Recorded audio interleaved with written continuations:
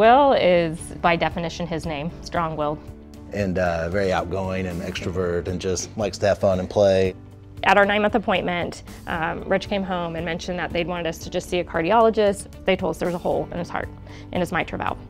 And the doctor said definitively he would have to have surgery.